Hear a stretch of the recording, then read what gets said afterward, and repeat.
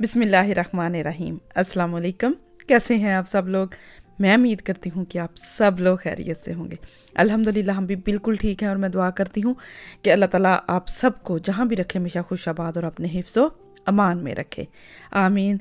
इसी प्यारी सी दुआ के साथ आज के अपनी इस वीडियो का कर लेते हैं आगाज़। आप सबको वेलकम करती हूँ अपने चैनल पर और आप सबको वेलकम करती हूँ आज के अपने इस नए व्लॉग में। तो यहाँ जो है वो सुबह सुबह जो है वो मैं बनाने लगी हूँ सहरी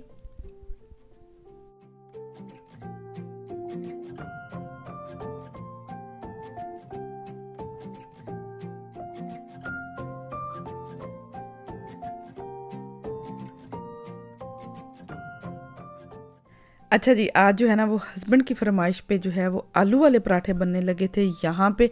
तो मैंने जो है ना वो आलू बॉयल करने के लिए रख दिए थे जल्दी जल्दी और साथ जो है ना जैसे ही वो उबल गए उनको बस निकाल कर छील के और सारे मसाले वगैरह इसमें शामिल कर दिए हैं। अब इसके ऊपर जो है वो धनिया ऐड करूँगी, सारे मसाले देख लें, नमक, मिर्च, मसाला, ज़ीरा, सूखा धनिया और अजवाइन वगैरह शामिल कर दी थी। अब इसके ऊपर जो है वो सब्ज़ धनिया ऐड कर रही हूँ, साथ में थोड़ी सी जो है वो मैंने सूखी मेथी शामिल की थी।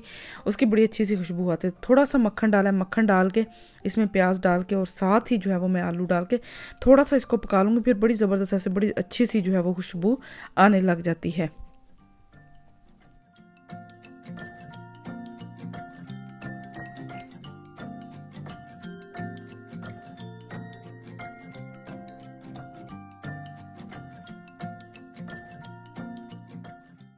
अच्छा जी, मैंने इसको ज़्यादा देर नहीं पकाया, बस एक से दो मिनट बस इसको पकाया ताकि मसाले जो है ना वो ऐसे कच्चे कच्चे ना लगें, थोड़ा ऐसे बन जाए ना।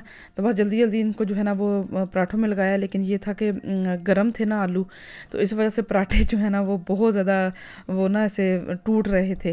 तो बस बड़ी मुश्किल से काबू करके जल्दी जल्दी बनाया ताकि जो है ना वो रोटी बनाने में देर ना हो जाए और जल्दी जल्दी जो है वो बना के और खा लें। और साथ जो है वो मैंने चाय भी बनने के लिए रख दी थी तो बस पेड़े मैंने साथ साथ कर लिए थे जितनी देर में आलू उबले उतनी देर में मैंने पेड़ वगैरह करके सारा कुछ रेडी करके रख लिया था। अब जो है वो अपने हस्बैंड की स्पेशल फरमाइश पे आज जो है ना वो आलू वाले परोठे जो है वो बना के उनको देने लगी थी यहाँ पे।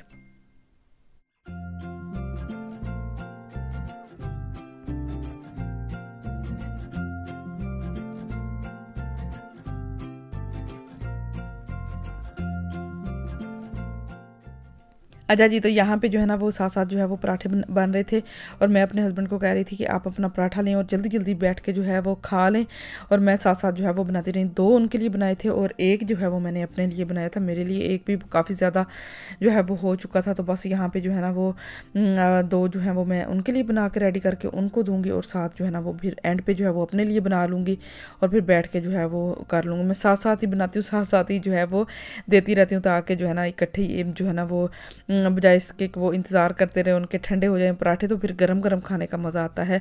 तो यहाँ पे हस्बैंड के जो है वो एक पराठा तो तैयार हो गया था, साथ जो है वो सादा दही मैंने उनको डाल के दिया था, मैंने कहा आप जो है वो अपना बैठ के जो है वो खाना शुरू करें और इतने में जो है वो मैं अपना बना के भी आपके साथ शामिल होती हूँ।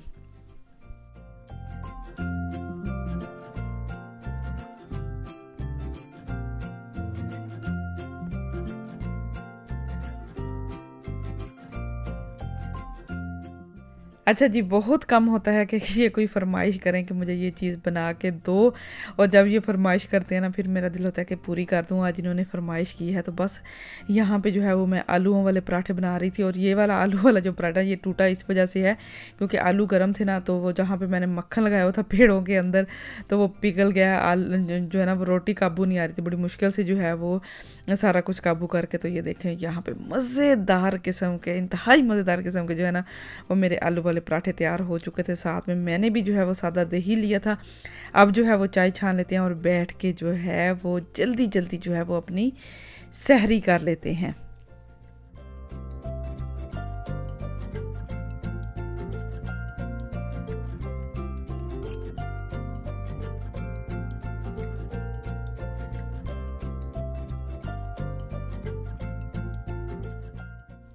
अच्छा जी तो यहाँ पे जो है ना, वो हमारा चाय भी बिल्कुल तैयार हो चुकी थी। अब जो है वो चाय छानने लगी हूँ, पराठे भी तैयार हो चुके हैं। तो चाय छान के जो है वो अपने हस्बैंड को देती हूँ, साथ में अपने लिए भी छान लेती हूँ। तो बस यहाँ पे आपको इसकी फ़ाइनल लुक दिखाती हूँ और बैठ के जो है वो अपनी सहरी कर लेते हैं।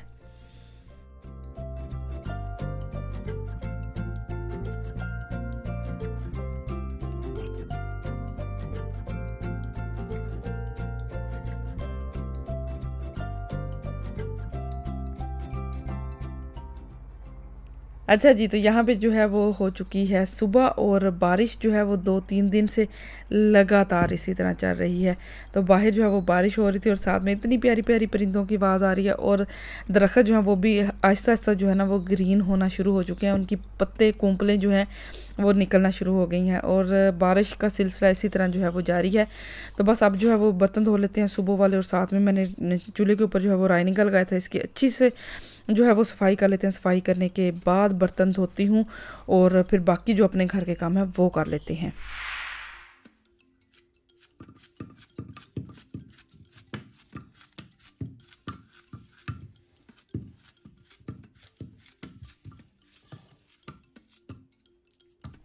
अच्छा जी तो आज जो है ना मेरा कुछ भी अफ्तारी में बनाने का मूड नहीं था। सालन पड़ा हुआ था, चावल भी कल के पड़े हुए थे। मैंने कहा, आज अफ्तारी में वो ही चलेंगे। अगर रोटी खानी होगी तो रोटी बना लूँगी, अगर चावल हुए तो वो थोड़े बहुत खा लूँगी। क्योंकि हमारे घर में जो है ना, वो चीज़ जल्दी ख़त्म ही नहीं होती। तो फिर मैंने सोचा कि साथ जो है ना, वो फ्रूट चाट जो है वो बना लेती हूँ। तो बस यहाँ पे मैं सारा फ्रूट जो है वो काट रही थी। इसमें सेब लिया केला लिया है, अंगूर लिए हैं और साथ में जो है वो मैंने स्ट्रॉबेरी ली है। थोड़ी सी ऊपर खजूर डालूँगी और कटे हुए बादाम वगैरह डाल के बड़ी मज़ेदार किस्म की जो है वो अपने फ्रूट चाट बैठ के तैयार करके तो अफ्तारी में साथ जो है वो फ्रूट चाट खा लेंगे। तो इनको बना के रेडी करके मैंने रख दिया था। फिर जो भी चीज़ साथ और लेनी होगी, वो साथ चावल या सालन, जो भी लेना होगा, वो साथ कर लेंगे और बैठ के जो है वो अपनी अफतारी कर लेंगे। तो आज की मेरी अफतारी का मेन्यू भी बहुत सादा सा सिंपल सा बस यही था।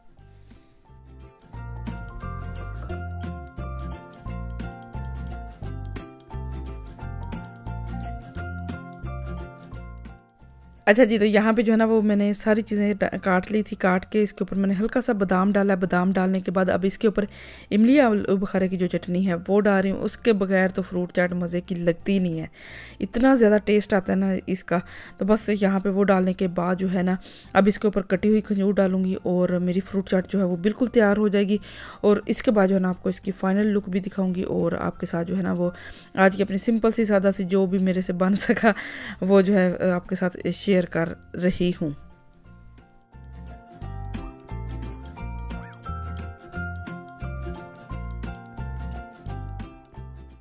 तो ये थी मेरी आज की वीडियो। मैं उम्मीद करती हूँ आपको मेरी आज की वीडियो अच्छी लगी होगी। अगर अच्छी लगी हो तो वीडियो को लाइक ज़रूर कर दीजिएगा। मुझे और मेरी फैमिली को अपनी दुआओं में याद रखें। अपना और अपनी फैमिली का भी बहुत ज़्यादा ख्याल रखें। मुझे दें इजाज़त। अल्लाह हाफिज़।